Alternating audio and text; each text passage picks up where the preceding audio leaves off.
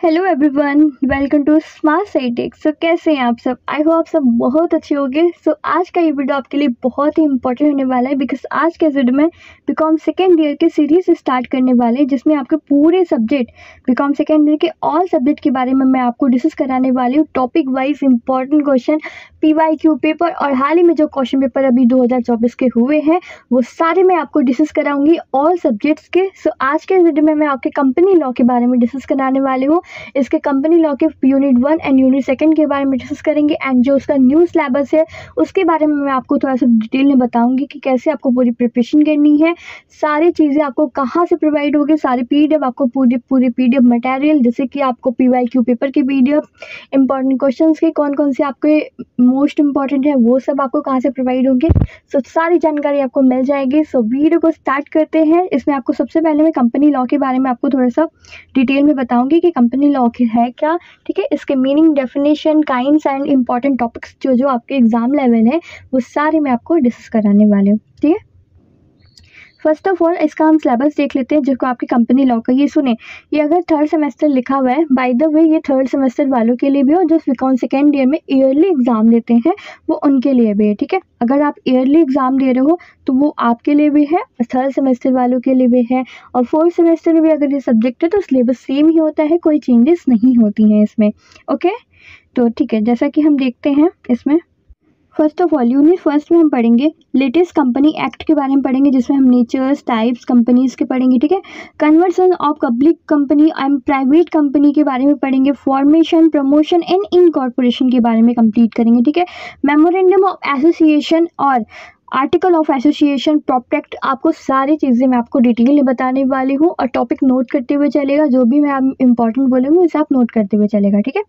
Second आपको बताऊँगी कि शेयर्स के बारे में क्या है नेक्स्ट आपका मैनेजमेंट कैसे, निर्देशक क्या होता है, उसके बारे में बताएँगे एंड फोर्थ आपको मेजोरिटी पावर्स के बारे में बताएँगे। तो आज के वीडियो में मैं आपको टू यूनिट्स कंप्लीट कराऊँगी, ठीक है? टू यूनिट आपको आज कंप्लीट करा दूँगी, इसका नेक्स्ट वीडियो में मैं आपको पूरे फोर्थ पार्ट कंप्लीट करा दूँगी फोर यूनिट कंप्लीट कराऊँगी, जिसमें आपके पूरे होल सिलेबस आपका कंप्लीट हो जाएगा। बहुत ही छोटा सिलेबस है, अच्छे से आपको मैं सारी डिटेल दूँगी, ठीक है? इसके बाद, इसके नेक्स्ट वीडियो में आपको मैं P Y Q paper three two five P के प्रीवियस पेपर में आपको दिखाऊँगी कि कैसे रिपीटेड क्वेश्चन आपके बार बार एग्ज़ाम में पुटअप किए हैं। नेक्स्ट आपको इंपॉर्टेंट क्वेश्चन जो दस मोस्ट इंपॉर्टेंट क्वेश्चन है, उसके बारे में डिस्कस कराएँगे। एंड ठीक है, इसका पूरी एक सीरीज़ चला रही है, जिसमें आपको फाइव वीडियोज़ मिलेंगे। एग्ज़ाम अकॉर्डिंग आप वो पाँचों वीडियो को कंप्लीट करेंगे तो आपकी पूरी प्रिपरेशन अच्छे से हो जाएगी। ठीक है? कोई भी डाउट होगा टेलीग्राम पे शेयर कर सकते हैं। नेक्स्ट आते हैं कंपनी लॉ कंपनी अधिनियम क्या होता है? सबसे पहले आप तो कंपनी नियम के बारे में जानिए कि कंपनी कानून या कॉरपोरेट कानून, व्यक्ति कंपनियों संगठनों और कारोबारों के अधिकारों, संबंधों और कामकाज को नियंत्रित करने वाला कानून है। ठीक है? ये कंपनियों के ऊपर बना एक कानून है। ओके जिसमें कंपनी कानून वाणिज्य कानून से निकाला है। इसमें कंपनियों के गठन वित्त पोषण, कामकाज और समापन से जुड़े नियम शामिल होते हैं। कौन कौन से नियम है? देखिए, कंपनी कानून, कंपनी के संबंधों, कंपनी कानूनी अधिकारों और वाणिज्यिक गतिविधियों से जुड़ी जानकारी देता है। नेक्स्ट कंपनी कानून, कंपनी के वित्त पोषण, स्थापना, प्रबंधन और विघटन से जुड़ी जानकारी देता है। ओवरऑल इनका कहने का मतलब यही है कि कंपनी एक, कंपनी के जो भी अंतर्गत नियम लागू किए जाते हैं, वो कंपनी एक्ट के अंदर ही सारे आपके आधारित होते हैं। ठीक है? नेक्स्ट आते हैं टाइप्स एंड नेचर के बारे में देख लेते हैं, सबसे इंपॉर्टेंट है। इससे रिलेटेड आपके क्वेश्चन बनते हैं एग्ज़ाम में, ठीक है? जैसा कि मैं आपको पी वाई के ऊपर में दिखाऊँगी। कंपनियों के प्रकार और प्राकृतिक देख लेते हैं। तो कंपनी अधिनियम 2013 के अनुसार कंपनियाँ दो प्रकार की होती हैं। कौन कौन सी होती हैं? प्राइवेट कंपनी और सरकारी कंपनी ठीक है? प्राइवेट होता है और कौन सा होता है? एक पब्लिक कंपनी होता है। उसके बारे में भी आपको डिफरेंस जानना ज़रूरी है, क्योंकि पब्लिक और प्राइवेट में काफ़ी डिफरेंसेस हैं, ठीक है? नेक्स्ट आप देख सकते हो कि प्राइवेट कंपनी के सदस्यों की संख्या कम से कम दो और अधिकतम दो सौ तक सीमित है। ठीक है? प्राइवेट कंपनी में सदस्यों की संख्या क्या होती है? सीमित लिमिटेड ही होती है। ठीक है? बट सरकारी कंपनियों की कम से कम दो और अधिकतम कितनी भी मतलब अनलिमिटेड होती है। पब्लिक सो so, जैसे कि पब्लिक कंपनी में आपके कम से कम दो अधिकतम और कितने भी हो सकते हैं। ठीक है? अनलिमिटेड हो सकते हैं। ठीक है? पब्लिक कंपनी में आपके अनलिमिटेड हो सकते हैं प्राइवेट में लेकिन 200 से ज़्यादा पर्सन नहीं इन्वॉल्व हो सकते हैं।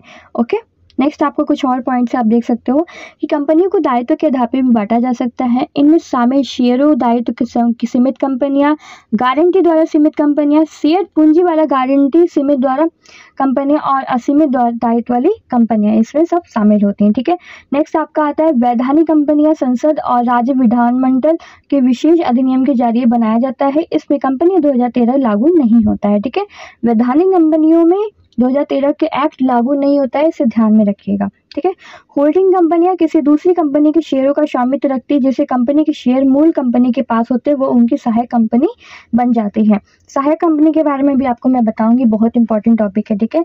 आपका देख लीजिएगा सब्सिडारी कंपनी ओके तो कंपनी की प्राकृतिक देखिए, कंपनी की प्राकृतिक दोहरी होती है, या एक तो वह अपने सदस्यों का संगठन होती है और दूसरी वो अपने सदस्यों से अलग भी, अलग व्यक्ति भी होती है। जैसे कि निगमन की आवश्यकता औपचारिकताएँ पूरी हो जाती हैं, एक नई इकाई अस्तित्व में आ जाती है, जो अपने निर्देशकों और शेयरधारकों से अलग विशिष्ट होती है।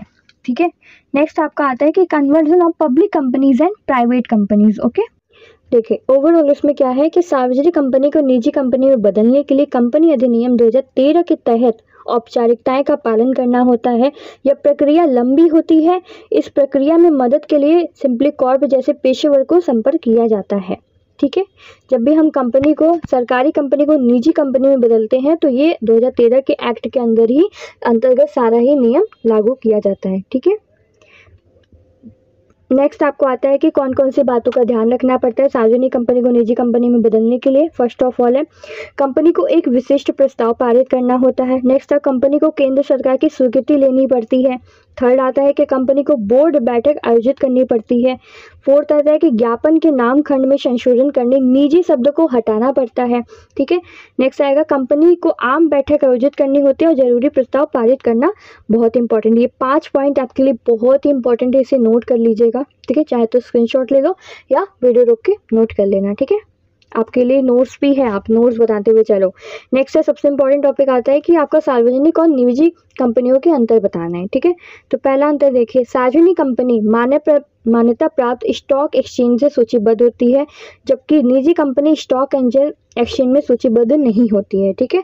स्टॉक एक्सचेंज में आपका कौन सी सूचीबद्ध होती है? सार्वजनिक कंपनी और स्टॉक एक्सचेंज में सूचीबद्ध नहीं होती कौन सी? प्राइवेट कंपनी ठीक है? सार्वजनिक कंपनी के शेयरों का सार्वजनिक रूप से कारोबार होता है, ठीक है? सार्वजनिक कंपनी में शेयरों का सार्वजनिक रूप से कारोबार किया जाता है और निजी कंपनी में कारोबार नहीं होता है, ओके? इसे ध्यान में रखिएगा।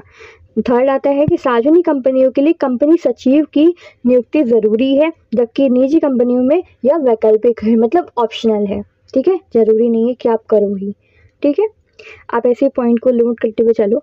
फॉर्मेशन और promotion incorporation of companies companies का गठन, संवर्धन और निगमन से जुड़ी कुछ बातें हैं। कौन कौन सी हैं? कंपनी का गठन, संवर्धन और निगमन एक व्यावसायिक विचार को कंपनी के रूप में स्थापित करने की एक प्रक्रिया है। ठीक है? कंपनी का गठन में कई चरण शामिल होते हैं, जैसे कि संवर्धन, नाम, तय करना और निगमन। ठीक है? नेक्स्ट पॉइंट आता है आपका। कि कंपनी के गठन में शामिल कुछ दस्तावेज़ हैं। कौन कौन से कंपनी का जब हम गठन करते हैं तो उसमें कौन कौन से दस्तावेज़ होते हैं? देखिए फ़र्स्ट ऑफ़ ऑल होता है कि मेमोरेंडम ऑफ़ एसोसिएशन जिसमें कंपनी का संविधान भी कहा जाता है। It's a very most important line इसे आप नोट कर लीजिएगा कि मेमोरेंडम ऑफ़ एसोसिएशन को कंपनी का क्या कहा जाता है? संविधान कहा जाता है, जिसके अंतर्गत सारे कंपनी के नियम लिखे होते हैं। ठीक है? उसके लाइबिलिटीज एसेट्स के बारे में सब कुछ लिखा होता है मेमोरेंडम ऑफ़ एसोसिएशन में। ओके? इसमें कंपनी के कार्यों का दायरा कंपनी का नाम पंजीकृत कार्य कार्यालय का स्थान कंपनी के अधिकृत शेयर पूंजी की जानकारी होती है, ओके? कंपनी के निगमन के लिए आवेदन जिसके सदस्यों का नाम, एसोसिएशन का ज्ञापन और लेख से जैसे दस्तावेज़ होते हैं। कंपनी के गठन के लिए रजिस्ट्रार ऑफ़िस में कंपनीज़ के पास आवेदन करना होता है। नेक्स्ट आता है, कंपनी के निगमन के बाद रजिस्ट्रार आप कंपनीज़ का कंपनी का पंजीकरण और निगमन प्रमाण पत्र जारी करना पड़ता है। कौन कौन से निगमन, अगर आप कंपनी का निगमन हो चुका है तो क्या क्या आपको रजिस्ट्रार ऑफ़िस में जाके कंपनी का पंजीकरण कराना है और निगमन प्रमाण पत्र जारी कराना होता है? ओके, लास्ट लाइन में आता है कि कंपनी कानून के मुताबिक एक अलग कानूनी इकाई होती है। है कंपनी का एक अलग कानून होता है, वो संविधान से थोड़ा सा रिलेटेड मतलब मेमोरेंडम ऑफ़ एसोसिएशन में जो संविधान लिखे गए हैं कंपनी के लिए, वो उसे ही फॉलो करता है, जो कि 2013 एक्ट के अनुसार वो कंप्लीट किया जाता है, ठीक है? अब आते हैं मेमोरेंडम ऑफ़ एसोसिएशन के बारे में मैं बताती हूँ आपको। मेमोरेंडम ऑफ़ एसोसिएशन यानी एसोसिएशन का ज्ञापन, ठीक है? कंपनी के संविधान या चार्टर के रूप में काम करने के लिए एक प्रकार का दस्तावेज़ है। ठीक है, एक प्रकार का डॉक्यूमेंट है, जिसमें कंपनी के पंजीकरण की स्थापना के लिए ज़रूरी दस्तावेज़ होता है। इसमें कंपनी से जुड़ी कुछ बातें लिखी होती हैं, जैसे कि क्या क्या लिखा होता है। पहले तो कंपनी का नाम लिखा ही होगा। ठीक है?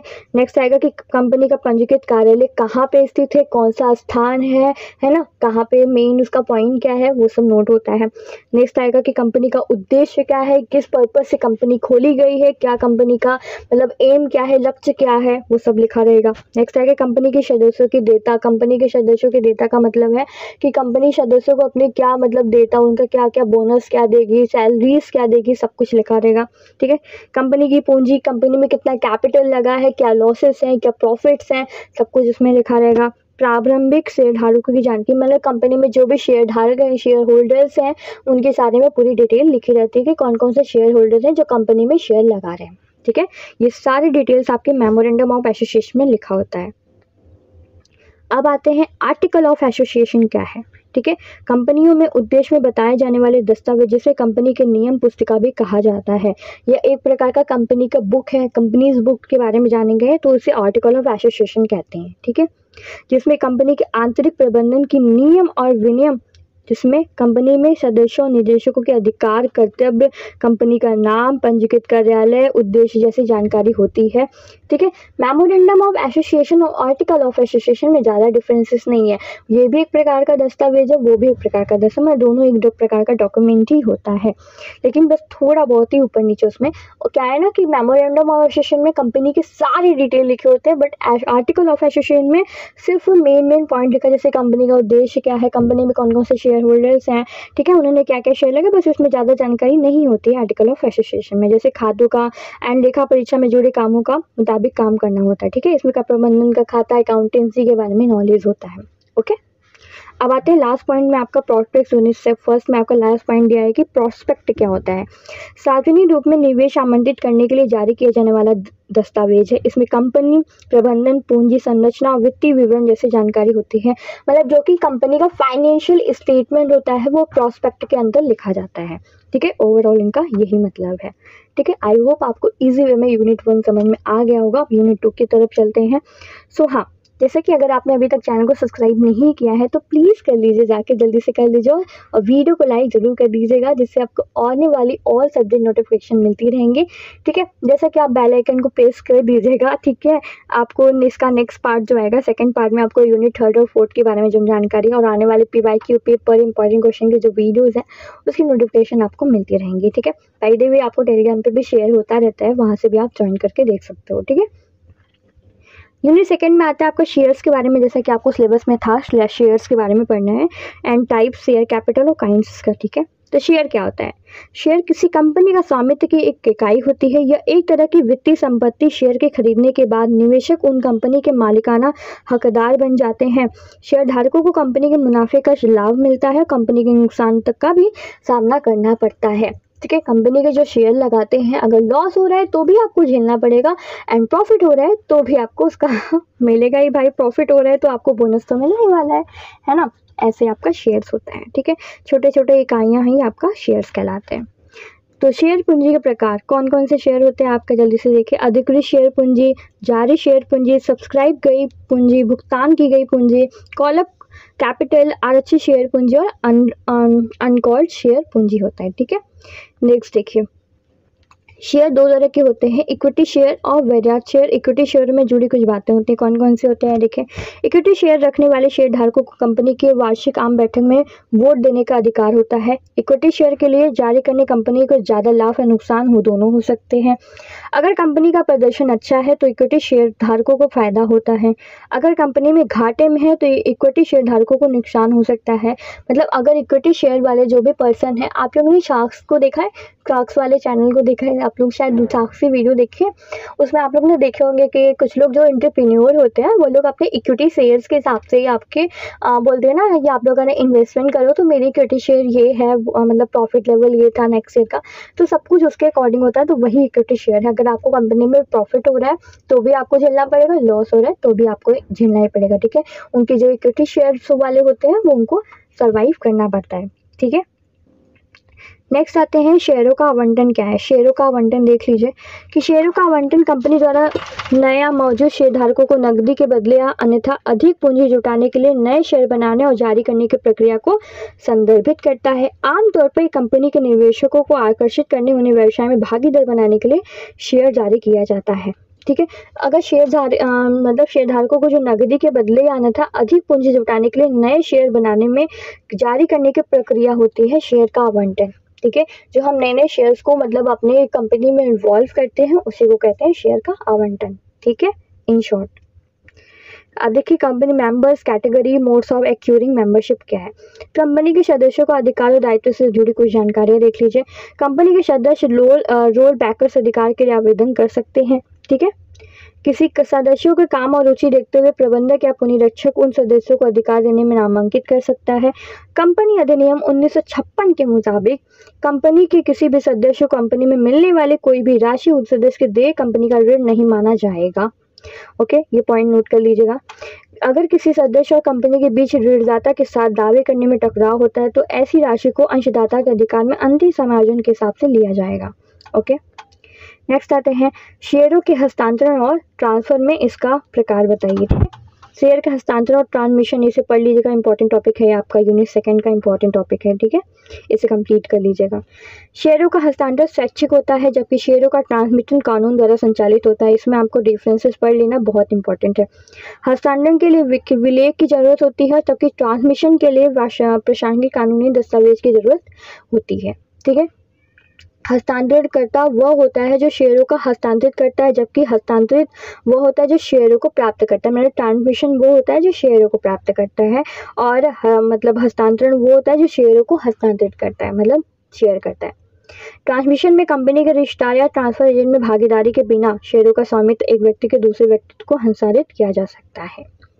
ठीक है? नेक्स्ट आते हैं डेवेंचर डेवेंचर क्या है? देख लेते हैं डेवेंचर के बारे में कंप्लीट करेगा debenture fix of floating charges के बारे में कुछ बातें हैं जो कि आपके जानना ज़रूरी है।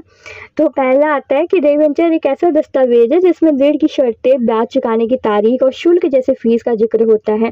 डेवेंचर में फिक्स ऑफ़ फ्लोटिंग चार्ज उनके लिए शर्त ज़िक्र किया जाता है। डिवेंचर में ज़रिए काम कंपनी पूंजी जुटाई जाती है। डिवेंचर में धारकों की कंपनी की तरफ़ से ब्याज और मूलधन का भुगतान किया जाता है। डिवेंचर ज़रिए कंपनी का ऋणदाता बनते हैं निवेशक ओके डिवेंचर कितने प्रकार के होते हैं? दो प्रकार के, सुरक्षित और असुरक्षित, ठीक है? देखिए, सुरक्षित डिवेंचर में कंपनी के कुछ संपत्तियों पर भार डाला जाता है और असुरक्षित डिवेंचर कंपनियों को कोई भी सुरक्षा या शुल्क नहीं दिया जाता है, ठीक है? डिवेंचर फिक्स और फ्लोटिंग चार्ज दो तरह की सुरक्षा होती है। ठीक है? आई होप आप सबको बहुत अच्छे से कंप्लीट करा दी हूँ मैं एंड यूनिट टू तक आपको अच्छे से कंप्लीट करा दिया गया है। कोई भी डाउट होगा टेलीग्राम पे शेयर कर सकते हो, ठीक है? और इंपॉर्टेंट क्वेश्चन की वीडियो मैं जल्दी से लेके आने वाली हूँ। पी भी आपको डिस्कस कराऊँगी, सारी प्रिपरेशन मैं आपको कंप्लीट कराते जाऊँगी। First of all company law इसके बाद मैं कॉस्ट अकाउंटिंग इन्वेंट्री मैनेजमेंट सारे सब्जेक्ट आपके बीकॉम सेकेंडरी के कंप्लीट कराऊँगी। बीजे स्टैटिक्स वगैरह, सब कुछ आपको कंप्लीट करा दिया जाएगा। सो बने रहिएगा हमारे साथ, मिलते हैं ऐसे नेक्स्ट वीडियो में, तब तक के लिए bye bye thank you so much कोई भी डाउट होगा कमेंट बॉक्स में ज़रूर बताइएगा, ठीक है?